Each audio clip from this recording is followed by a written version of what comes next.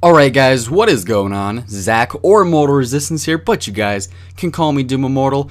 And welcome back to another Call of Duty Ghosts gameplay commentary. Hope you guys are having an awesome day, and if not, maybe this video can make your day a little bit better. And what we have as far as the gameplay goes for today for you guys is a really really cool double KEM strike on the map Freight and this gameplay is by Doom X Temp he is one of our newer pub stompers uh, he is a really really good player I've seen a bunch of crazy good gameplays from him. So be sure to go and check out Doom X Temp's channel.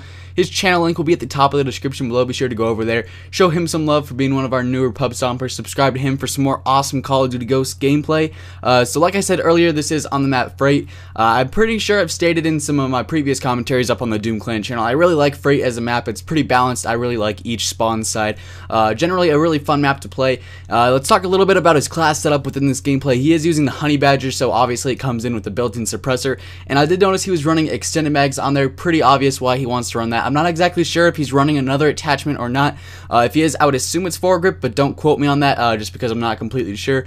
But for his specialist setup, he is running Scavenger, Amplify, and Quick Draw, and he actually ends up spawning off with Hardline as one of his starting perks, so he ends up getting his specialist bonus at 10 kills, and obviously all the assists he gets goes towards uh, counting his kills as you guys probably know, every two assists with hardline counts as a kill, so uh, that kind of helps him along the way. So hope you guys enjoyed the gameplay in the background. Once again, be sure to go and check out Doom X Temp link at the top of the description below. So let's move on into a commentary topic for today. What I'm going to be talking about for the remainder of this video is uh, hate and how I deal with hate, how I deal with haters, and what my personal opinion is on them. So let me know in the comments below. Quick question for the comments for today.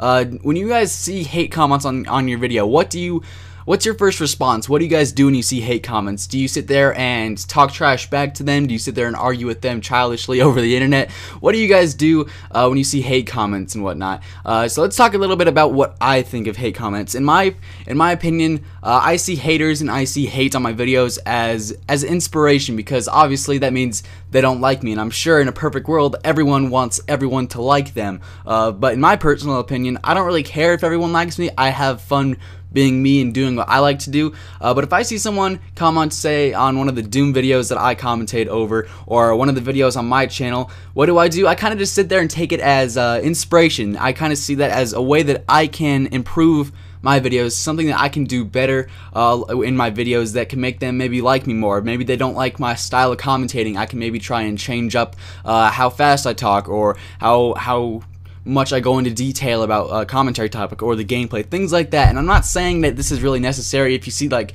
say your video gets like 200 likes and you have a video like that that does really really well, and it's got like four dislikes and a few people comment, "Wow, man, this gameplay was really really boring to watch."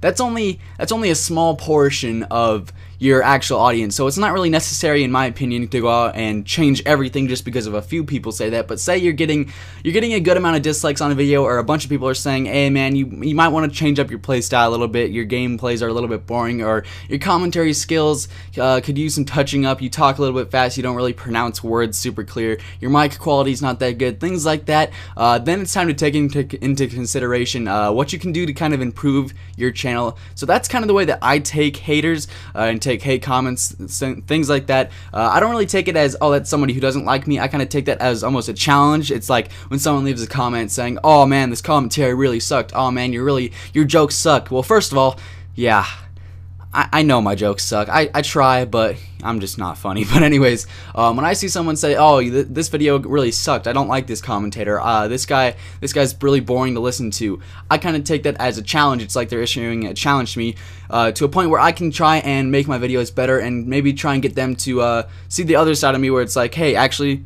This guy's not that bad. I see where he's coming from. I kind of like his videos. I kind of like his uh, video style, things like that. So once again, let me know in the comments below what do you guys think of hate? How do you guys take it? And I'm looking forward to hearing your guys' response. And I think that that just about does it for today's video. Hope you guys enjoyed. If you did and you want to leave a like rating, I will high five you in the face. Once again, be sure to go and check out Doom X Temp. Once again, his link will be at the top of the description below. And if you guys like today's commentary from me, my channel link will also be down there if you guys want to come and check me out. And if you guys have any tips, if there's any way that I can improve my commentaries uh, or anything like that, be sure to leave those in the comments below as well. And also be sure to go and check out Doom Clan on Twitter if you guys want to stay up to date with us. You guys can see what's going on kind of behind the scenes over on Twitter. Go over there and give us a follow. That link will be in the description As well, if you guys want to watch our live streams, we also have our twitch.tv channel, link in the description below. If you guys want to go ahead and check out that live streaming channel, you guys can see and tune into our live streams. You guys can see some of our awesome pub stompers go to work live, get some awesome gameplays for you guys, and you guys can also hang out with some of the other Doom members in the chat. So there's a bunch of awesome links in the description. Be sure to go and check those out as always. And I hope you guys have an awesome rest of your day. Unfortunately, as you guys can probably tell by now, there uh, there isn't any game sound. Unfortunately, I believe it's because he's playing on PS3, but I'm not completely sure. But you guys can see Xtemp is calling in his KEM strikes right now. So that's gonna wrap up today's video. Hope you guys have an awesome rest of your day. Have an awesome rest of your week. And I will see you guys in my next commentary. Stay happy, stay positive, and peace out.